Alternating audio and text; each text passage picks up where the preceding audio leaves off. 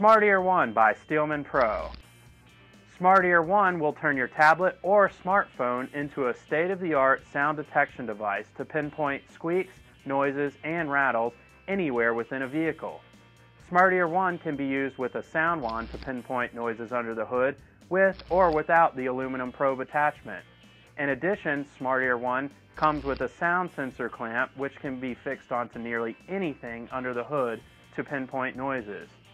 If your device has a case, use the dual port connector. If your device does not have a case attached, use the dual port dongle. Simply download the app and attach the hardware. Next, initiate the app.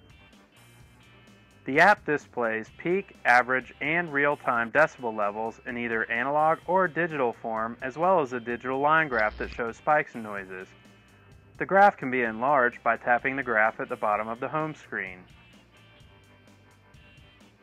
Tap the ambient button to drown out background noise on the audio-visual output. From the settings screen, you can adjust the refresh rate, offset rate, and volume to help hone in on noises. Smart Ear 1 also features an equalizer to help pinpoint noises. Smart Ear 1 by Steelman Pro.